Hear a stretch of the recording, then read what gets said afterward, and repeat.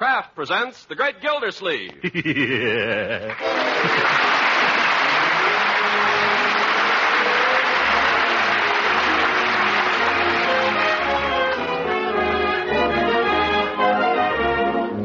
The Kraft Cheese Company will also bring you Bing Crosby every Thursday night. Present each week at this time Harold Peary as The Great Gildersleeve, written by John Whedon. The Great Gildersleeve in just a moment. Well, Christmas is still a few days away, but I imagine in most of your homes the festivities have already started for the youngsters. Yes, with the kids on vacation, there are probably plenty of parties and occasions when friends drop in. And that calls for a well filled cookie jar. Yes, and a big bowl of popcorn now and then. So here's a tip. For cookies that fairly melt in your mouth, try making them with Parkay margarine for the shortening. You see, besides being grand for table use as a spread for bread and seasoning for hot vegetables, Parkay, when used as a shortening, adds delicate extra flavor to all baked foods. Try Parkay melted over popcorn, too, and just watch the youngsters go for it.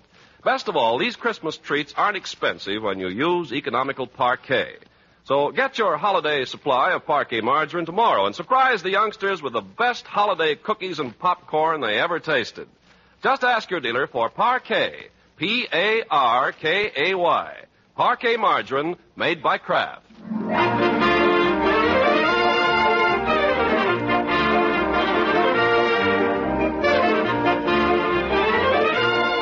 Now let's join our friend, the great Gildersleeve. With December almost gone, he's been working like a beaver the past few days trying to get out the annual report of the water department. That's why we find him now in his office asleep at nine o'clock in the morning with his head buried in the annual report and his arms sprawled across the blotter. While through his troubled dreams run thoughts of this happy holiday season.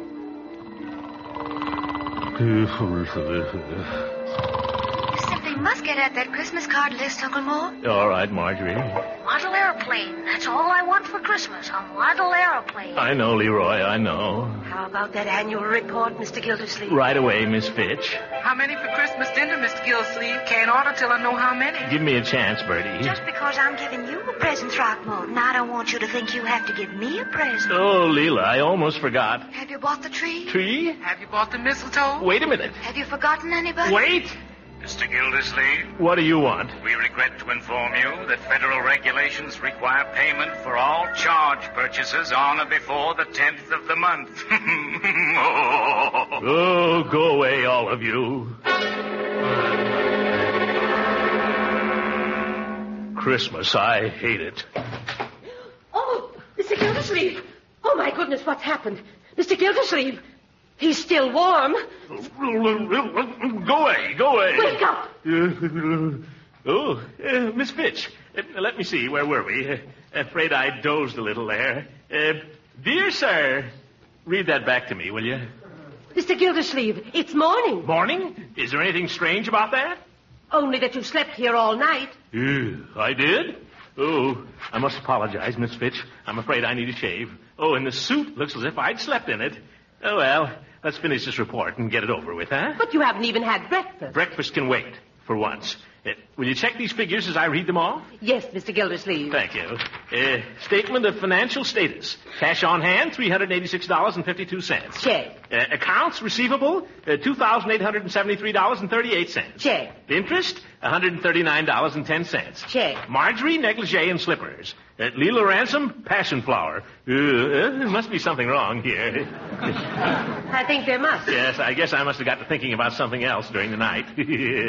Silly, wasn't it? Yes. uh, oh, uh, perhaps I should explain, Miss Fitch. I was thinking about my Christmas list. So I assume. Uh, yes. Uh, perhaps I should explain further, Miss Fitch. Passion flower is the name of a perfume. I know. I use it exclusively myself. Oh, maybe I better give it a little more thought then. you know, Miss Fitch, I had the most awful dream last night. I don't wonder. Yes, I dreamed that I hadn't done a bit of Christmas shopping, which I haven't. But I also dreamed that it was the day before Christmas. I want to tell you I was frantic. Uh, Mr. Gildersleeve, I don't want to spoil your dream, but it is the day before Christmas. Uh, what? It can't be. But it is. Oh, what happened to all those other days? There's a whole week I've lost track of. You've been working too hard. You've been going around here in a fog. Oh, but I haven't bought a single present. I haven't had breakfast. Haven't even had a shave.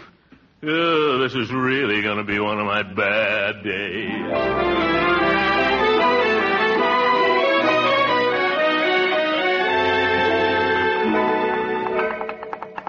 Come right in, Mr. Gildersleeve. You're next. No waiting. Uh, good morning, Floyd. Gee, Mr. Gildersleeve, you look like the grapes of wrath. Uh, yes, I had a hard night last night, Floyd.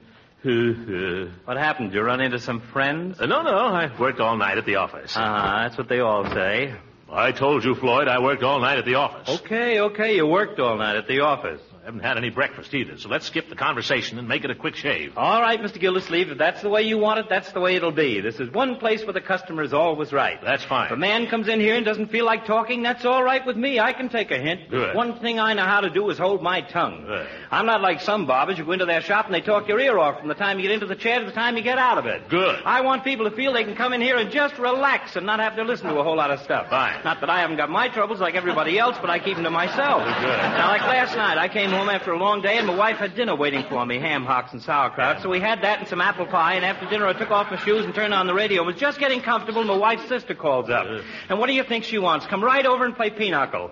Well, if you know my wife's sister. So I said to my wife, I said, nothing doing. I said, I'm all set here, I'm comfortable, and right here is where I'm staying. Good. I said, you couldn't move me out of here with a 10-ton truck. So we went over and played pinochle for a while, and then in come... Oh, come in, Judge, come in. Just finishing up with Mr. Gildersleeve here. He hasn't even started on me yet. Why, I'll have you shaved in two shakes. See that you don't, brother. I thought I'd find you here, Gildersleeve. How are you, Judge? What's on your mind? I just dropped in to serve notice on you, Gildersleeve, that after your recent performance, I'm not giving you any remembrance this Christmas. And please do not embarrass me by giving me any. Good day. Good day. Wait a minute. I don't know what you're talking about, Horace. I haven't seen you in a week. I've been very busy. Yeah, I'll say you've been busy. Busy over at Mrs. Ransom's. Uh, Judge, I haven't even had time. Don't deny it.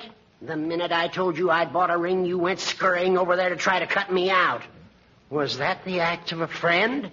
Well, Judge, the best laid plans of mice and men gang aft agley.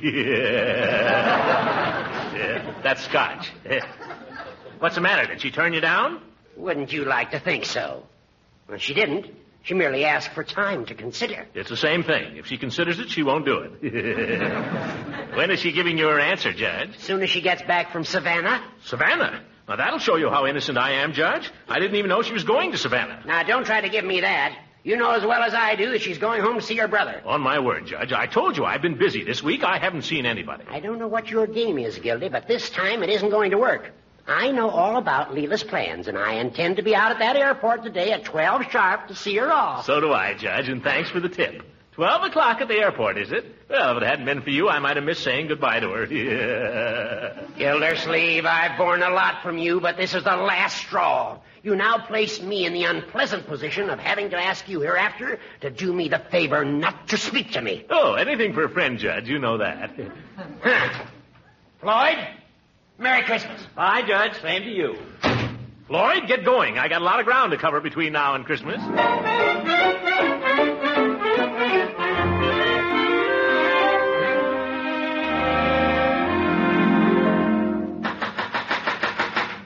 Uh, I wonder if I'm in time. I wonder if she's left yet. Leila, have you left yet? Of all people, Mr. Gildersleeve. Leila, why didn't you tell me you were going away? I didn't suppose you'd care whether I came or went after the way you treated me last Saturday. I can explain that, Leila. You see? Pray, don't bother. I'm hardly in the habit of having gentlemen run out on me without so much as a by your leave. Uh, Leila, let's talk this over. Uh, aren't you going to invite me in? Well, if you're going to break my door down, I suppose I'll have to. Uh, but you. I'm leaving right away. I've got all my bags packed, and I'm expecting a gentleman to call for me any minute. I know. Hooker. I'm not saying who it is, but he's more of a gentleman than you are. Leila, about last Saturday, Birdie came back unexpectedly, and I had to go down to the station to meet her. Did you ever come back? But Leila. Did I ever hear word from you all week? But I haven't had a minute. I've had to get out the annual report of the water department. And if you know what that means. I know what it means. It means you care more for your old waterworks than you do for me. All I can say is I'm glad I'm going away. Oh, now, Leila. I'm glad. I'm glad. Oh, Leila, don't be like that. Leila. Oh, help. Somebody help. Look, Leila, I, I bought you a present. You brought me a what? A present. A Christmas present. You see? It's got Santa Claus on it. You see, he's waving to you. Go on, wave to Leila, Santa. Oh, Throckmorton, you're such a fool. And you didn't forget, did you? Forget? How could I forget? After what happened the last time I saw you. What happened, Throckmorton? Don't you remember? Certainly. I just wanted to see whether you remember. By George, if there were any mistletoe around here, I'd show you whether I remember or not. Do you have to have mistletoe?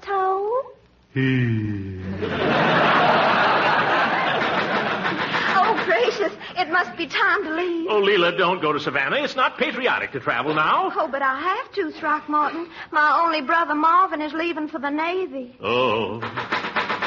Leila, we haven't got any time to lose. Come in, Judge. Oh, you were so sweet to call for me, Judge. Not at all, not at all. A pleasure. My bag's already here, and I have a nice surprise for you. Throckmorton's coming to the airport with us. Well, I hope he's got his car. I'm afraid there won't be room in mine. Tell the judge we wouldn't think of crowding him, Leila. You can come with me and he can take the bags. Oh, yeah? Well, you tell Gildersleeve for me. Nonsense, nonsense. Now, we can all ride in one car. We'll put the bags in back and all ride in the front seat. Leila, you either overestimate my seat or you underestimate Gildersleeve.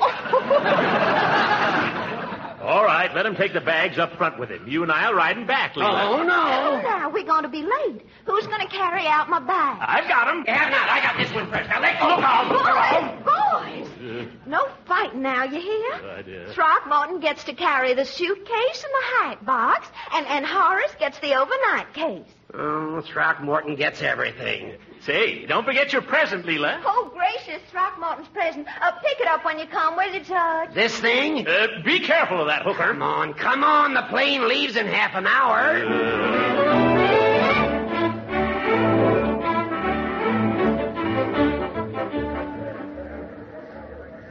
Flight 37 to Savannah. All passengers aboard, please. That's you, Leila. That's your plane. Oh, my goodness, I'm so excited. You know, I've never been in a flying machine before in my life. I've got a good notion to come with you, Leila. Oh, I wish you could. Yeah, I think I'll stow away on the plane. I'll bet you would, too, Throckmorton. That blimp? There isn't room to stow him away on the B-19. No, look here, Hooker. Boys, boys, this is Christmas Eve. Peace on earth, goodwill toward men. Well, he started it. I don't care who started it. I want you both to promise me one thing before I go. What's that? Promise me you'll both be friends while I'm gone. Come on now, shake hands. Mm, Shake hands, Throckmorton. Come on. Well, all right. That's better. Now you write to me every day, you hear? I will, Leila. I'll write twice a day. So will I. No, you won't. I will, too. Uh, now. You're so impulsive, you boys. I want you to do me another favor. Anything you say, Leila. I want you both to spend Christmas together, just thinking about me. Mrs. Ransom, Uh, yes? we're holding the plane for you. For me? Oh, how nice. I'll be right along. Oh, my, isn't he handsome in his uniform and all? Yeah? I wonder if he's going, too. Yeah. Goodbye, Leila. Oh, goodbye, Throckmorton. I'll be waiting for your answer, Leila. My answer? Oh, yes. now, remember, you two, you're going to be good friends, and don't you dare open your present till Christmas, you hear? Mrs. Ransom, the plane is waiting. Oh, my goodness. I'm in such a demand here, I hardly know what I'm doing. Just come with me, please. With you? Oh, you know, Captain, this is my first trip on a flying machine. Captain, I'll bet he's not even a sergeant. Have a pleasant trip, Leila. Yes, she will.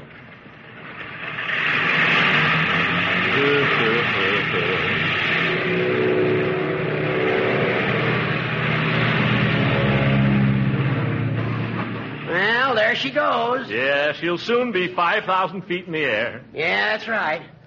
Oh, dearie me.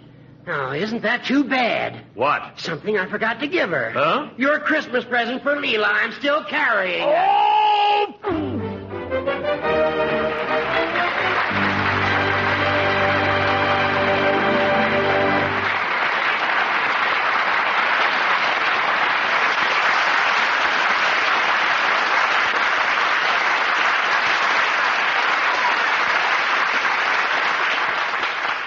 Great Gildersleeve will be with us again in just a few seconds. You know, nowadays, it's really a homemaker's duty to see that her family gets the right kind of foods. Yes, and it's just as much her duty to keep her food budget in line. Well, there's one important food that helps you do both these jobs. And that food is economical Parkay margarine, the delicious, nutritious spread for bread made by Kraft. Parkay margarine is one of the kinds of foods that our government recommends for good nutrition. That's because it's so wholesome and nourishing. Actually, Parkay is one of the best energy foods you can serve.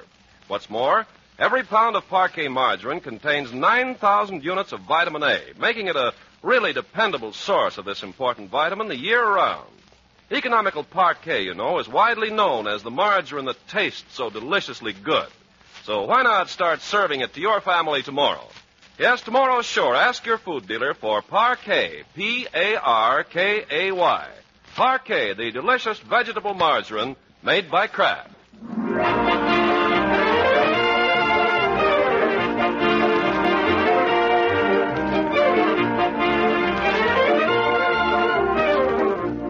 Now let's see what's happened to the great Gildersleeve. After a frantic three-hour battle in Hogan Brothers department store, he bursts out of the store with his arms full of bundles and his hat over his ear. Uh, Christmas.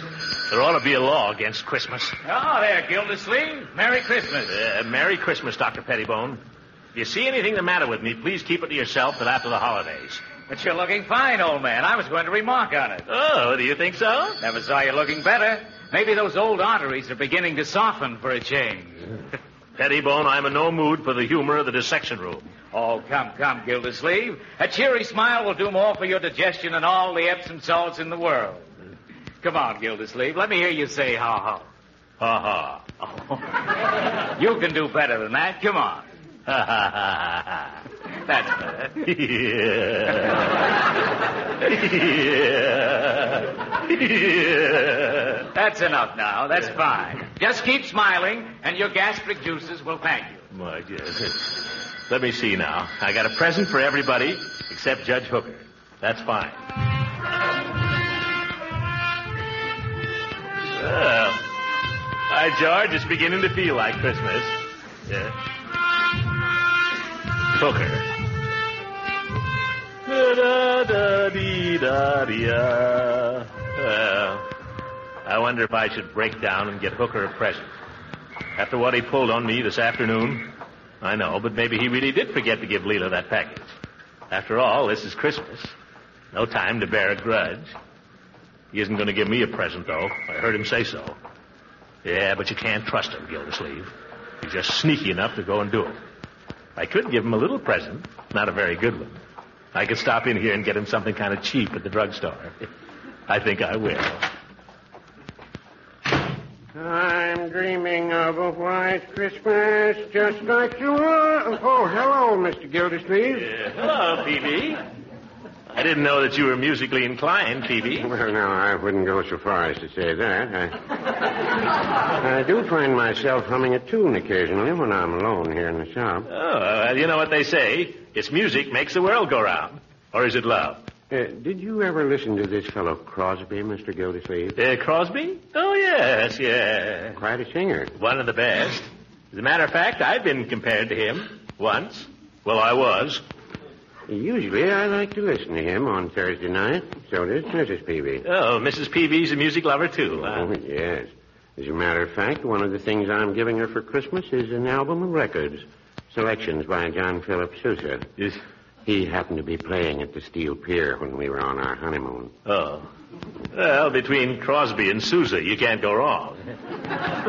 hey, maybe you can help me out, Peavey. I came here to find a Christmas present. Oh, something for a friend? Well, I don't know that he's a friend, but I gotta get him something. Well, I dare say we can find something suitable, Mr. Gildersleeve. Now, let's see. It doesn't have to be too suitable. Well, uh, what sort of thing does your friend like? He doesn't even have to like it. It just has to be a present. Well, that makes it rather difficult. If you could give me some idea. Well, I'll tell you. I'm buying it for Judge Hooker. Judge Hooker? Well, it's a small world, Mr. Gildersleeve. Oh, is it, Peavey? Would you believe it? Judge Hooker was in here not over an hour ago selecting a present for you. Oh, uh, so this is the kind of place he comes to buy me presents, is it?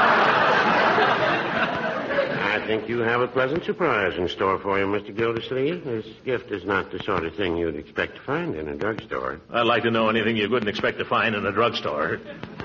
Tell me, Peavey, what did he buy me? Oh, well, no, I'm afraid I couldn't tell you that. Professional ethics, you know. But I, I want to know how good a present to buy him. At least you can tell me how much it cost. Oh, no, but I believe I can say without betraying any confidence that it was under five dollars. Yeah, good. Good. Now we're getting someplace.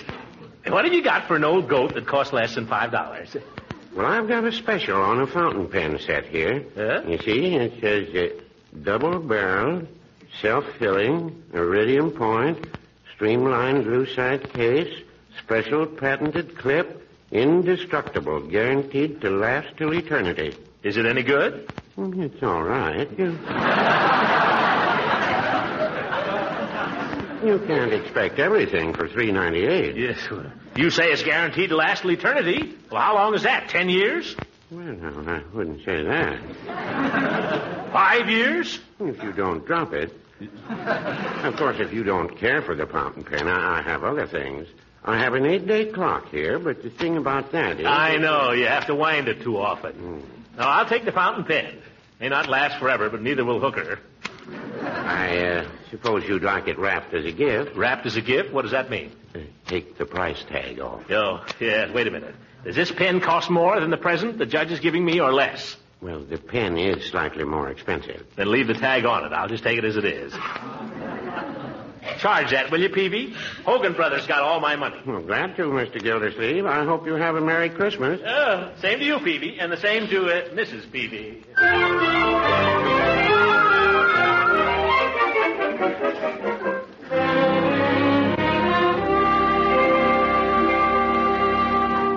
You know, Leroy, maybe it's this green bulb that's making the trouble. It do look a little tired. Why don't you unscrew the bulb and stick the screwdriver in there? Oh, never do that, my boy. You blow out every fuse in the house.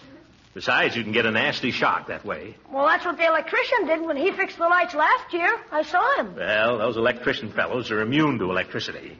Uh, let me have that other bulb there, will you, Birdie? Yes, sir.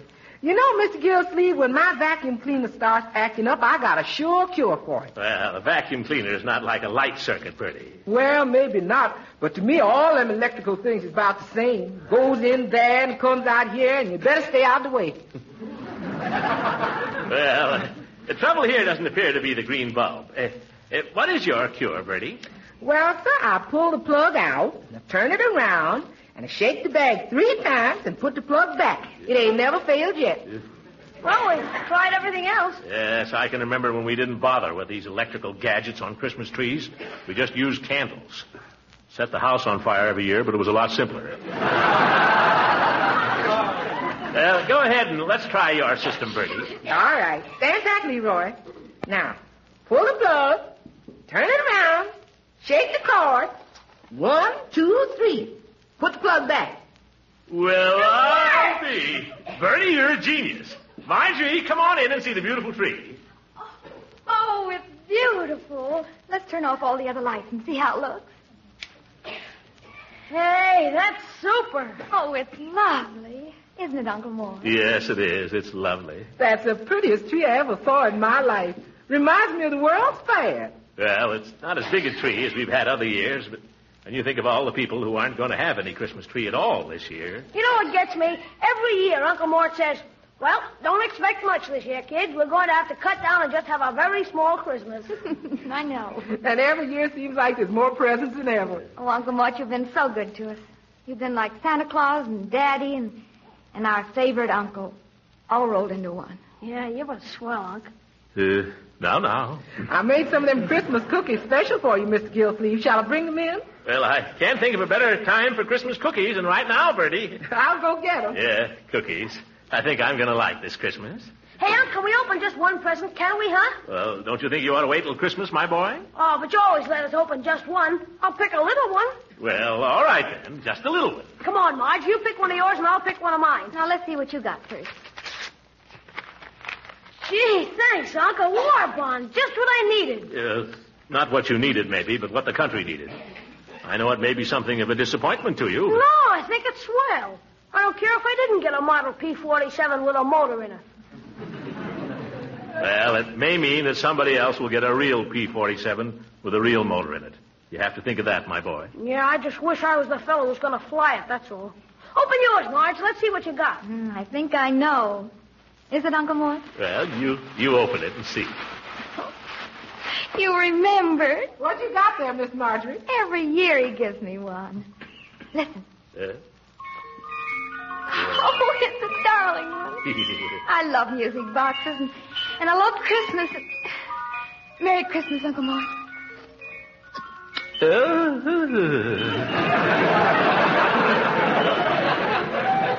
Merry Christmas, my dear.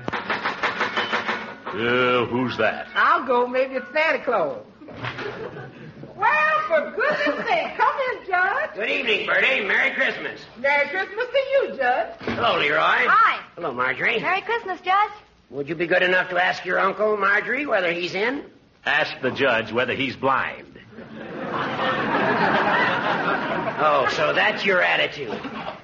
Well, you may recall, Throckmorton, that we gave a certain lady our promise that during her absence we would be friends. Yes, I recall it vaguely. Well, I, for one, am a man of my word. Uh, It's customary for friends to exchange tokens this holiday season. For that reason, and for no other, I have brought you a slight gift. Here. oh. Well, now that you mention it, I have one for you. There. Throckmorton. Throckmorton. You old son of a gun. Yeah. Horace, you old goat, you. Merry Christmas. Merry Christmas. By George, now it is a Merry Christmas. Throckmorton, what do you say we open each other's presents, huh? Huh? Okay, let's do it.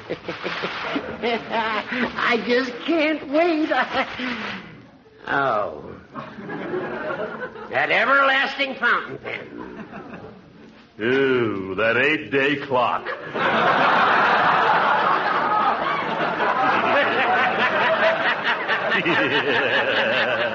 Throckmorton, I think Brother Peavey unloaded something on us. Well, now, I wouldn't say that.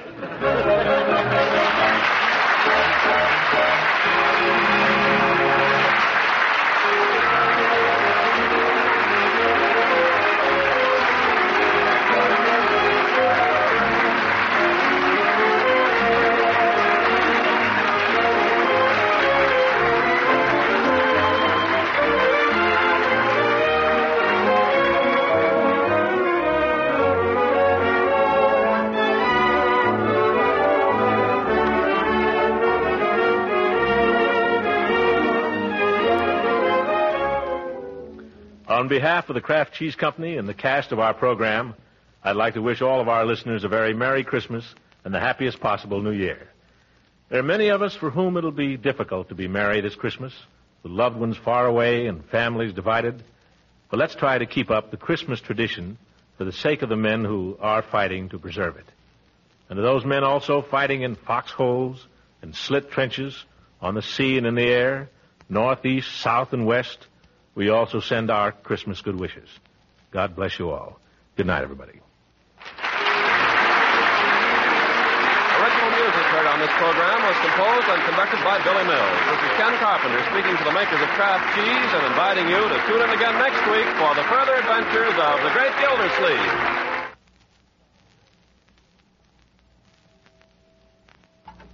You lovers of macaroni and cheese will get a thrill out of the new fashioned way of making this grand dish with Kraft Dinner. A package of Kraft Dinner contains special macaroni which cooks up fluffy and tender in just seven minutes. And the Kraft Dinner package also contains some Kraft Grated, which supplies the grand cheese flavor. You just boil the Kraft Dinner macaroni for seven minutes, drain it, and stir in the Kraft Grated. Your macaroni and cheese is ready to serve. Now, because Kraft Dinner is so simple to make, so good, and so economical, it has become tremendously popular throughout the country. So popular, in fact, that sometime a dealer's supply is exhausted by the end of the week. You can help your dealer and yourself, too, by ordering Kraft Dinner early in the week. Then you'll have it on the pantry shelf ready for grand macaroni and cheese you cook in seven minutes. This program reached you from Hollywood. This is the National Broadcasting Company.